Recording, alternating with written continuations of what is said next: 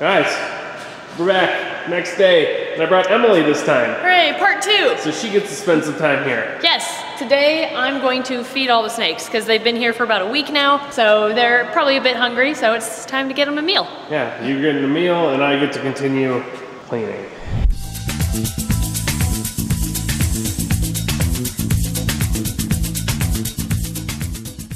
So in this video, we're gonna find a place for this work table. We have more of an actual workstation we're gonna be putting somewhere. I have stuff that's going to be going on the walls to cut down on this really bad echo. Yes, some soundproofing, that's gonna be Yep. really nice. Uh, we have to get a refrigerator and a freezer, Yes. and we have to set up some other stuff. But there's going to be a whole lot to this video. Yeah, there's a lot we have to do. Yeah, but first feeding snakes and cleaning. Yeah.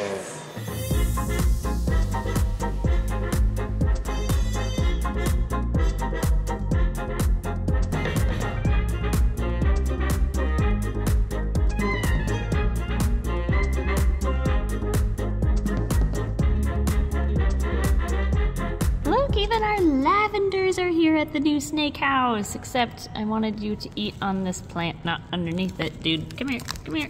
We're gonna set it there so you don't drag it in all the bedding. All right, onwards.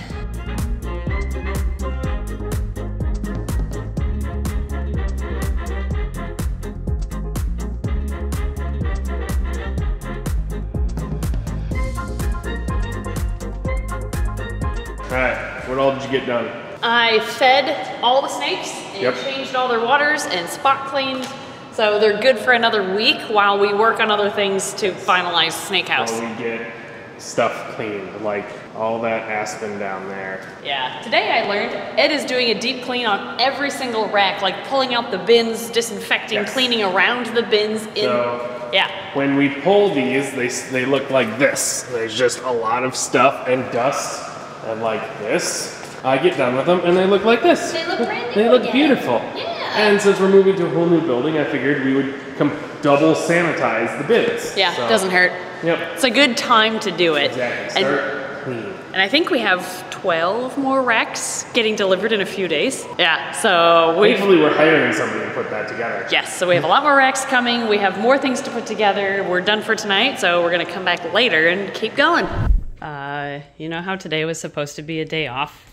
Yes, and it's still going to be a day off. I don't know so much anymore. We got a Yes. we got a call from the delivery company that the new snake racks are at the building and they're waiting for us to unload. They never called you to set up an appointment, though. Nope, they didn't. They're just here. So now we have to go in and bring It's in no longer here. This is a made bed. I just made coffee. It just finished. Cheyenne, I just brought out. Hi! Yeah, it was supposed to be a day off, but not anymore. Step up. Come here. Come here, naked chicken. Yeah, you chewed off your old sweater. We have to put a new one on. Let's put you back.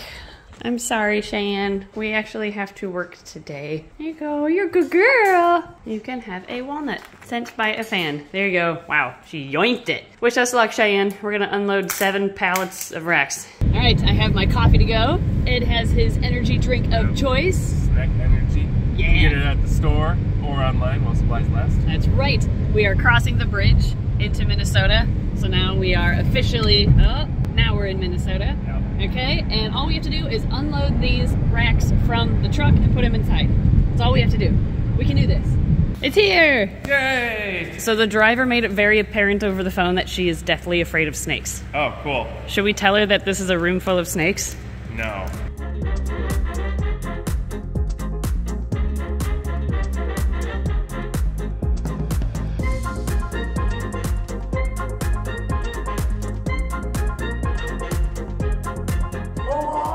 Yeah, look at that. We have three, and then five, and then eight. Wait, no, that's only two. And then seven, and then nine, and then 11. We got 11 racks. Yes, ARS should really sponsor us at this point. Yeah, really. Maybe we should just blur that. Maybe just blur the logo. Yeah. No, we just really like their racks. So Yep. ARS, if you want to sponsor us at some point, we can do something Yeah. together. But these are going to be assembled in the future, not today. No. But we have them here for when our new curator starts. He can assemble them, and we'll actually start filling up this building with snake racks. It's going to Yes. look so cool. Then we have to go on a shopping spree. Oh, we have to buy buy so much stuff for the racks. Yeah. Okay, but for now, Ed and I are supposed to take the day off. So we're gonna go home and come back on the day we're supposed to be working to continue. Working? Having meetings? Yes. Yeah, hooray. All right. Well, I'm back out here. Emily is at the shop doing meet and greet again. And today, instead of focusing on cleaning the racks, I have a whole other task I need to do. You know how you hear this echo, which is probably really annoying to your guys' ears? Well, today I have acoustic panels to help stop that and some baffles to also help stop that because we want to film out here because our entire collection is going to be out here so this is pretty important to have be able to film in this building and hopefully this will help so we're to go do that. I'm to be putting panels up on the walls putting baffles on those in between each light and hopefully that'll cut down on the echo.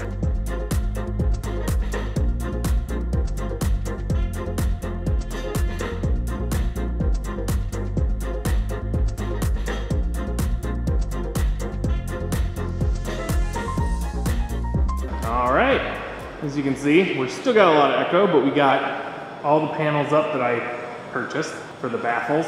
So that should start helping, especially in this area where there's less room for everything to echo. But we still have to cover up these big walls that should also, that should cut it out almost completely. But yeah, now I get to move to putting these foam panels, these guys, up on the walls.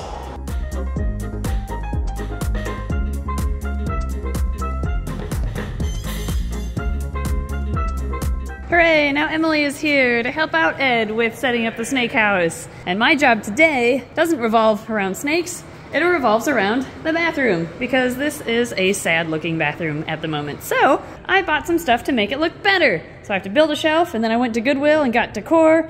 And yeah, I'm just gonna set all that up.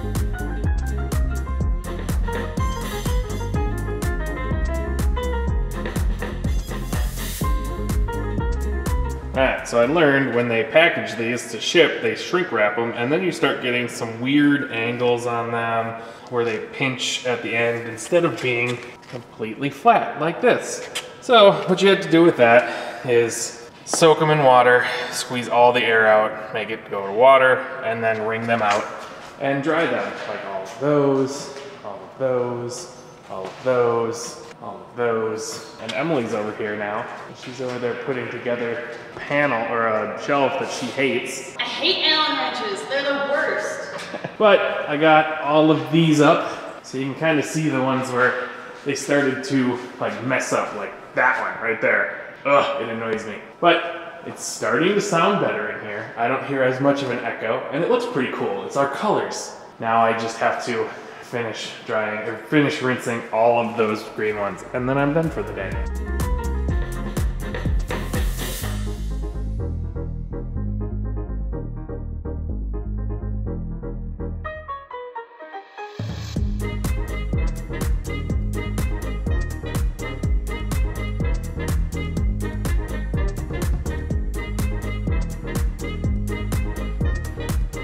We're back. I'm not gonna be working on the soundproofing today. What are we doing today? Today, we are moving this food prep table into place so it's not just in the middle of this room. But I like it in the middle of the room. This is very inconvenient long term. So I'm thinking, what if we put it in that corner? We could have like a whole meal prep area of the building. Are we doing it in that corner or are we doing it in that corner?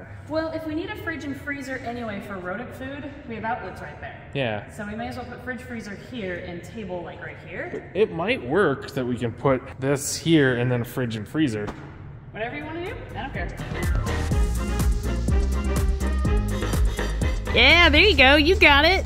Should I just full board send it right now? Yeah, just push it straight off the edge. Perfect. It'll make it in there. Yeah, it'll just fly into place. Doesn't need to be in one piece, right? Now, I don't think they're both gonna fit there, Ed. Don't know. I think I can squeeze it. It's like getting in a tight pair of jeans. You just push and push until it snaps, right? Uh, yeah, no, I don't think that's how that works. I'm pretty sure that's not gonna fit. So what's the backup plan? I, I don't know.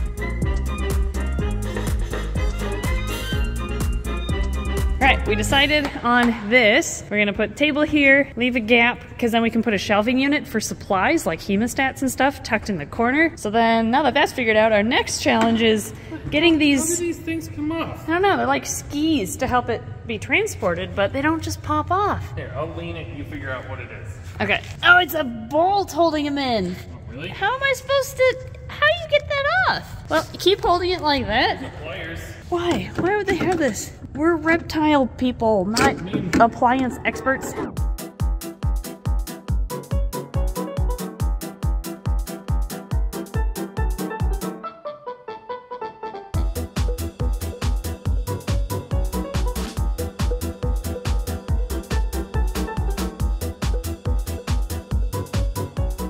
Well, I have this freezer side all done. Look, it's so beautiful. Everything's ready to go and be turned on. But I can't get to the fridge side because someone is taking too long. This thing is so stupid. Why would they put these stupid skis with two hex bolts that we don't have tools for to take off? I'm surprised it's not like just a Phillips head screwdriver. Ah, that would be a lot smarter, wouldn't it? Yeah. Yeah, no, instead, I'm stuck with this tiny little window of space to get this stupid bolt off. Uh, Emily's getting frustrated. All right, everyone. I didn't really record today because I figured I'm cleaning, and you guys have probably seen enough of me cleaning. But I sterilized all six of those, eight of those, eight, eight of those. The other ones are up there. This rack is now clean. It's just kind of drying. I moved all the snakes that were in it into these tubs. You can ignore Mount Trashmore over there. We don't have garbage yet, so it's just going in a pile. I put all the snakes over here. They're gonna spend the night in these tubs. Which, thinking about it, if you get these tubs, you should probably put weight on top. Oh, I should probably make sure he's still in here. He's still in here, yellow. Oh no. All right. Well, learn from my mistakes, kids. Put stuff heavy if you don't have if you have lids that can come off. I was here, so I figured I would watch him escape if he was going to escape, but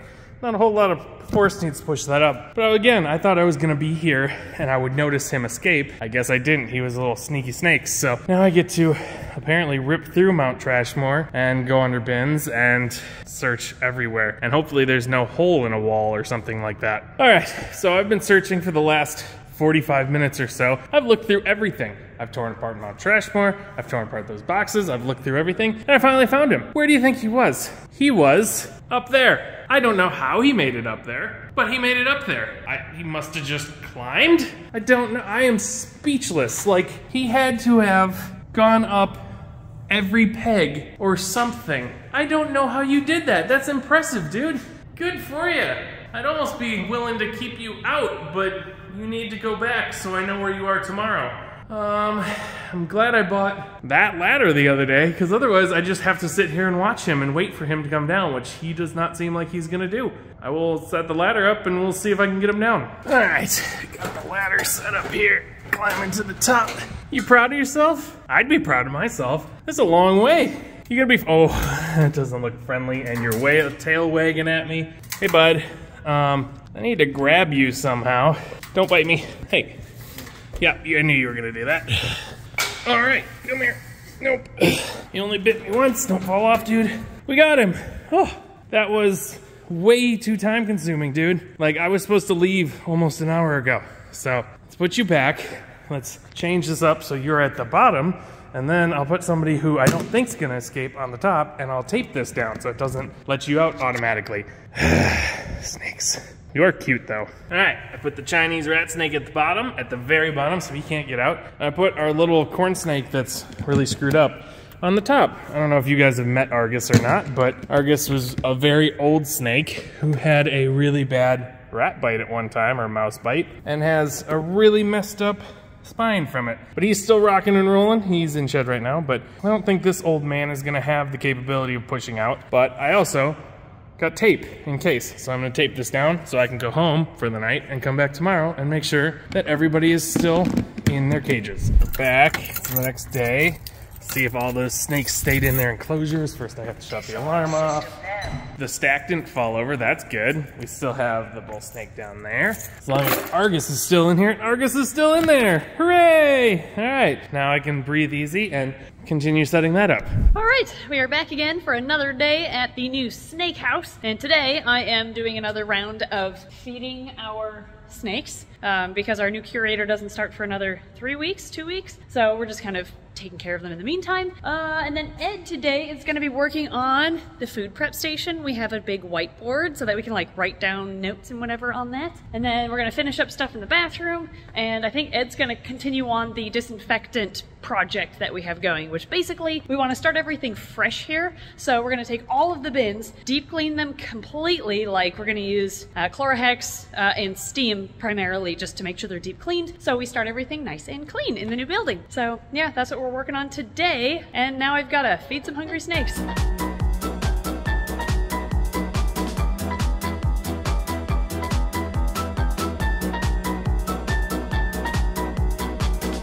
I'm gonna interrupt that hyperlapse for a second to introduce you guys to Argus, the corn snake, who some of you have seen because we posted about him on Instagram not too long ago. But this poor dude is very old. He's got cataracts in both eyes. He's not just about to shed there. He's the, the cloudiness is from his cataracts. And you're probably wondering what that is. In his previous home, he was fed live rodents, and there was an accident one day where he decided not to eat the mouse, and instead the mouse decided to start eating him alive. His radiograph is bonkers, and uh, we've had him for quite a while now. We just haven't really showed him on the channel because I guess I haven't found a reason to do it. But since he's getting very old, I wanted to at least introduce him to you guys before he passes away. But he's very alert, so I think we'll still have him for a bit yet. But yeah, this is a kind of a crazy scar that he has, even though it's all healed up now. So maybe we'll do a video that features him, but in case his time comes before we end up doing that video, I wanted to at least introduce you guys to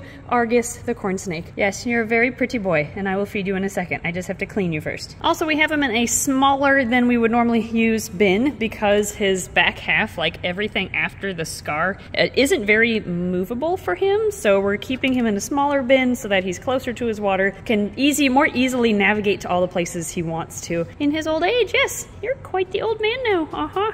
So this is your senior living home.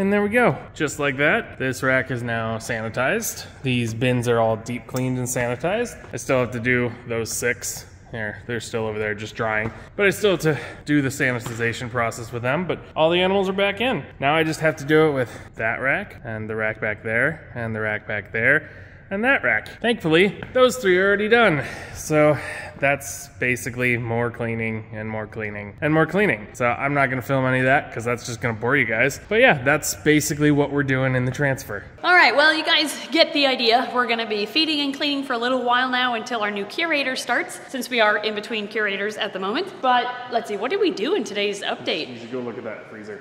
Ooh, is it full of frozen rodents? Yeah, ignore all the boxes that are on the Yes, ground right there. This one? That one's empty. Yeah, there's nothing in that one. But wait till you open that one. Oh my gosh. That's a lot of frozen rodents. That's a lot of frozen rodents. Yeah. Wow. Well, hopefully we get to the point where that is considered a week's worth for Hopefully us. Hopefully we don't get to that point. Wouldn't That'd be cool. That That's the be- point of this. That would be really cool, but that's a lot of mouths. That's a lot of mouths. That is true. So up next, I guess, since we kind of got this ready in this video, This already. um, just little this, little that, but we have enough, I think, to end the video uh, here, because, I don't know, you're probably getting bored watching us just build and clean? random, yeah, feed and clean. I mean, I told them in another update that I just have, I have four more racks to do over there, and then I'm pretty much done. But nice. So everything's going to be fresh and new Yep. here. It's going to be great. we have to throw a bunch of garbage away. Ah, Mount Trashmore. Yep, It's beautiful. it is.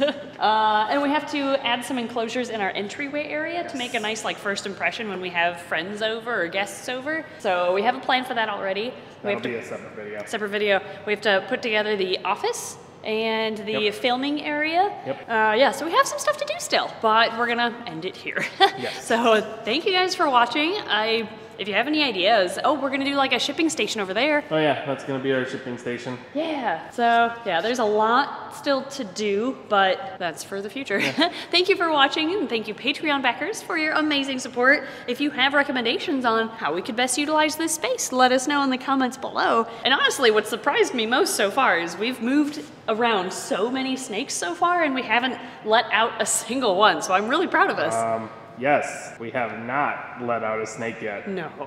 I mean, goodbye, everyone. All right, one last check to make sure everything is out. That broken glass isn't ours, is it? Broken glass. Corner? Oh, this? Yeah. Um, I hope not. Okay. I, I think we would have noticed if Yeah, I we had would've noticed that too. broken glass. Yeah, so I think we're okay. No snakes. Oh. Oh, what is that? Oh, it's a creepy little doll. It's stuck in the. You know what? I'm gonna leave it there because I feel like if I remove that doll, I'm gonna be cursed for life. Yeah, we already might have ghosts at home. We don't need a poltergeist as well. No, we do not.